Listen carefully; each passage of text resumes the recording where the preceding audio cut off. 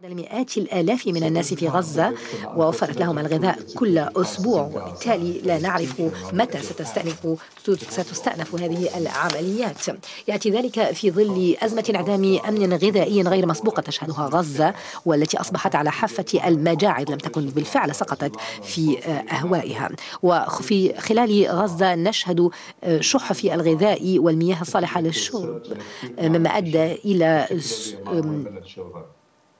انتشار المرض وسوء تغذية حاد لا سيما بين النساء والأطفال وفي شمال غزة أبلغت اليونيسف بأن واحد من كل ستة أطفال يعانون من سوء تغذية حاد وحوالي 3% يواجهون أشكال عدة من الهزال. الذي يتطلب العلاج الفوري وما لا يقل عن 31 شخص ما في ذلك 28 طفل. يعتقد أنهم ماتوا من الجوع في الأسابيع الماضية وهو وضع يتطلب العمل المتضافر الآن. الانتظار حتى نصل إلى تصنيف المجاعة بشكل بشكل رجعي لا يمكن أن يكون مقبولا. وعلى الرغم من المخاطر سيدتي الرئيسة إلا أن العاملين في مجال المساعدات يواصلوا جهودهم لتوصيل المساعدات إلى شعب غزة من خلال كافة الوسائل المتاحة. يشتمل ذلك على توزيع الغذاء والمياه والمواد الطبية والمواد غير الغذائية والوقود والإجلاء الطبي في الأسبوع الماضي. وصلت الأمم المتحدة وشركائها لحوالي 550 ألف شخص من خلال توفير المساعدات الغذائية إلا أن 4% منها فقط وصلت إلى مدينة غزة وشمالها. تواصل وكالة الغوث أنروا تقديم آه، وإدارة آه، سبعة مراكز رعاية صحية توفر الرعاية ل 23 ألف شخص يوميا وقامت بإدارة 53 ألف عملية تلقيح منذ بداية الحرب. ولكن وجب التأكيد على أن نطاق المساعدات ومداها آه، غير كاف على الإطلاق لا سيما ما يصل منه إلى شعب غزة. والعقبة الرئيسية كانت طريقة توصيل الغذاء هي قدرتنا على توزيعه داخل غزة ولا سيما إلى شمالها. وهناك عنصر مقيد بشكل خطير ألا أن وكالة أنروا وهي العمود الفقري للاستجابة الإنسانية غير مسموح لها بالعمل في شمال غزة. فإذا ما انتظ... ورغبنا عن حق في التصدي لهذه المجاعة ومعالجة الوضع الإنساني الكارثي الذي لا يقبله ضمير في غزة فينبغي على وكالة الأنروا وكافة المنظمات الإنسانية الحيادية أن يسمح لها بالوصول الآمن والسريع وغير المعوق لكافة المدنيين الذين يحتاجون إليها. فبكل بساطة ما من بديل عن الخدمات التي تقدمها وكالة الأنروا وأحد المآسي المؤسفة للحظة الفارقة التي سنشهدها يوم الأحد هو أن ذلك لن يمثل نهاية للقتل والدمار والمعاناة الإنسانية التي استمرت على مدار ستة أشهر ولن يأتي بنهاية للمأساة التي يعيشها المحتجزين وعائلاتهم. على الرغم من الالتزامات الواضحة وفقا للقانون الإنساني الدولي وعلى الرغم من الأوامر المؤقتة الصادرة عن محكمة العدل الدولية التي تطالب إسرائيل باتخاذ كافة التدابير الفاعلة والضرورية لضمان وصول الخدمات الأساسية بدون تأخير وبدون عقبات بشكل واسع النطاق وشكل طارئ وتوفير المساعدات الإنسانية. ويأتي ذلك أيضا على الرغم من إقرار المجلس بالحاجة لتوسيع نطاق تدفق المساعدات داخل غزة وإليها وعلى الرغم من قرار صادر عن المجلس يطالب بوقف إطلاق نار فوري خلال شهر رمضان. لا يمكن أن نسمح بهذه المأساة أن تستمر. يجب إطلاق سراح كافة الرهائن ومعالجتهم بشكل إنساني وبالمثل. تحتاج يحتاج شعب غزة للامتثال الكامل للقانون الإنساني الدولي وأوامر محكمة العدل الدولية. نحتاج للامتثال بقرارة هذه المجلس والأهم من ذلك نحتاج لإنهاء هذه الحرب المدمرة. شكرا. أشكر السيد راجا سينيان تعتذر الرئيسة على القدرة على نطق الاسم وأعطي الكلمة للسيدة سوريك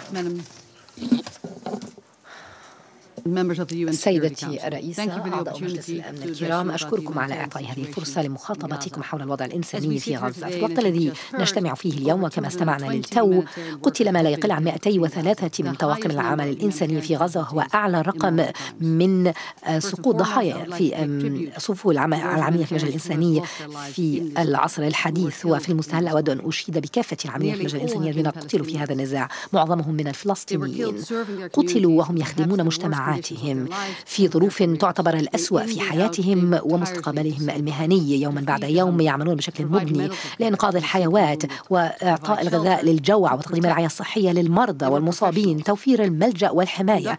كانوا مهنيون يعملون وفقا لمعايير المبادئ الإنسانية التي نسترشد بها في القطاع العالمي فقد قاموا بإعلاء هذه المعايير الأخلاقية ولكن أطراف هذا النزاع بما في ذلك أعضاء ممثلين في هذه الهيئة الأممية لم يقوموا بذلك. أحد زملائي سامح عويضة قتل في آه، هجمة جوية إسرائيلية الثاني عشر من كانون الأول ديسمبر مع عائلته برمتها. جاء ذلك بعد يوم من نقد قرار في هذه القاعة لوقف إطلاق النار. سامح وزوجته فاطمة. كان لديهم أربعة أطفال. محمد 12 عاما وهبة تبلغ من العمر 11 11 عاما وزينة ثلاثة أعوام وزين يبلغ من العمر عامين.